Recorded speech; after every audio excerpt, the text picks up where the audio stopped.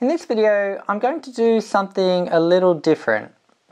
Rather than answering one of your questions, I'm hoping you can help me with the question I have. If you've seen any of my videos, you probably recognize this calculator here, which is the Texas Instruments BA2 Plus Professional.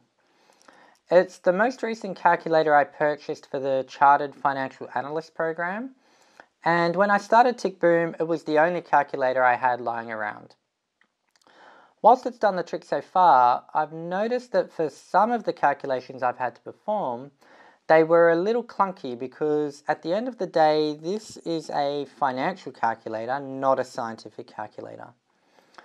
So for 2021, I resolved to switch to a calculator that's better suited to high school math, and I opted for this one here, which is the Casio FX82AU Plus 2 second edition.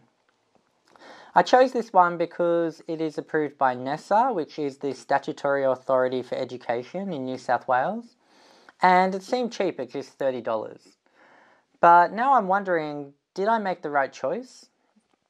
So what I'd like to know is, what calculators out there are better than this one here for high school math?